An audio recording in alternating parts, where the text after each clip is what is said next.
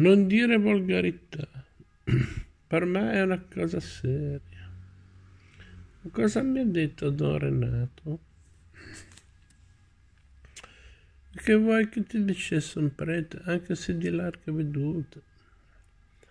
Che il tuo sentimento era nobile, bello e secondo natura, ma che non dovevi guastarlo, trasformandolo in un rapporto fisico perché occorre arrivare pure al matrimonio, dunque dovevi tenertelo come un segreto nel profondo del cuore.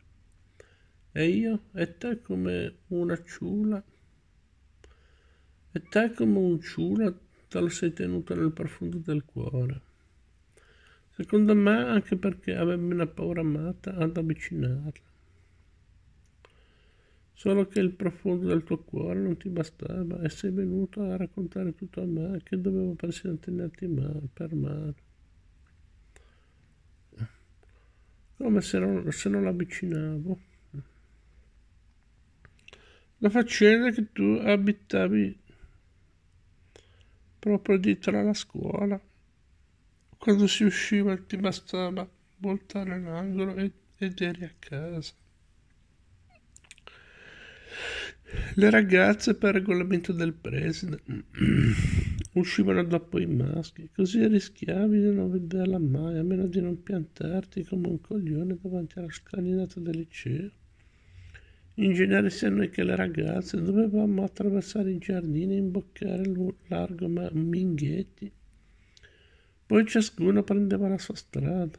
Lei abitava proprio in largo Minghetti. Allora tu uscivi, facevi finta di accompagnarmi sino in fondo ai giardini. Stavi attento a quando uscivano le ragazze. Tornavi indietro e la incrociavi mentre lei veniva in giù con le sue amiche. La incrociavi, la guardavi e basta, tutti i santi giorni. Ed ero soddisfatto, e no che non lo eri. E allora hai cominciato a combinarne di tutti i colori, ti infilavi nelle iniziative benefiche per ottenere dal preside il permesso di andare per le aule a vendere non so quali biglietti. Entravi nella sua classe e facevi in modo di fermarti mezzo minuto in più al suo banco. Magari perché non trovavi il resto da darle, ti sei fatto venire il mal di denti perché il dentista dei tuoi Stava proprio in largo Minghetti e le sue finestre erano di fronte al balcone della casa di lei. Accusavi dolori tremendi. Il dentista non sapeva più cosa fare, per scrupolo trapanava. Ti sei fatto trapanare tante volte per niente, però arrivavi con mezz'ora di anticipo, in modo da stare nel salottino d'attesa e sbirciare dalla finestra.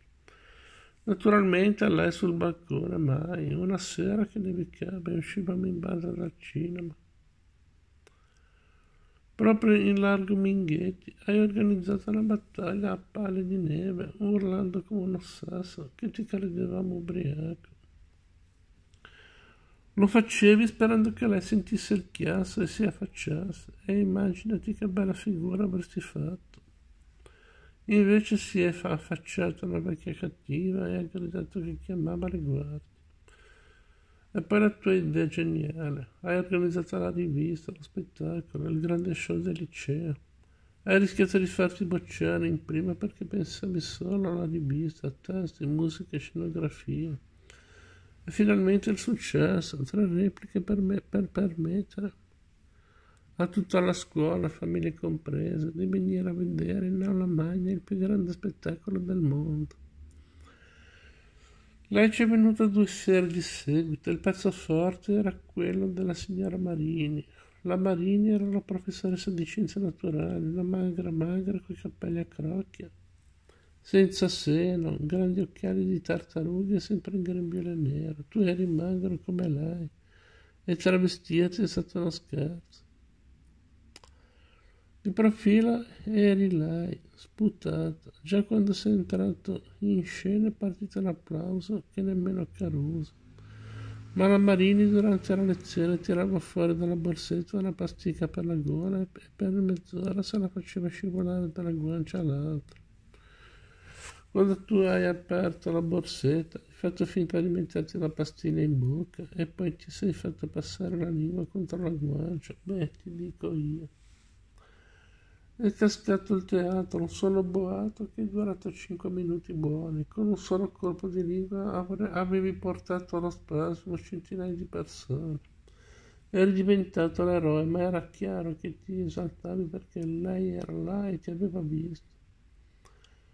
Non ho pensato che a quel punto avrei potuto osare.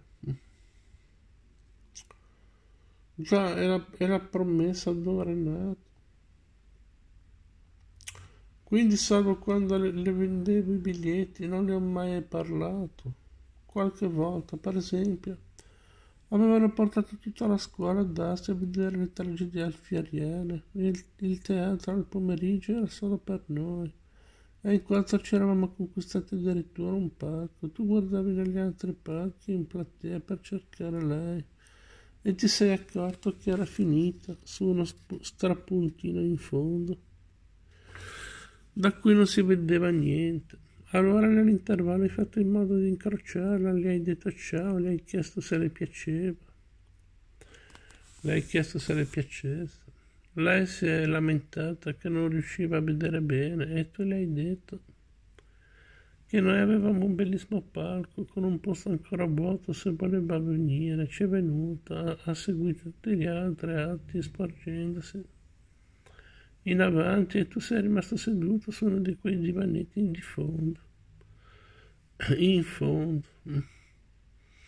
Non vedevi più il palco, ma le hai fissato alla nuca per due ore, quasi un orgasmo. E dopo, e dopo ti ha ringraziato. Era giunto alle compagne, eri stato gentile, ti ringraziava, te l'ho detto, loro erano già donne. E a noi non ci cagavano nemmeno. Anche se a liceo ero stato l'eroe dello spettacolo. E già, credi che le donne si innamorassero di Jerry Lewis? Pensavano che era bravo e basta. Pensavano che fosse bravo e basta, sei italiano, eh. Siamo a pagina 288.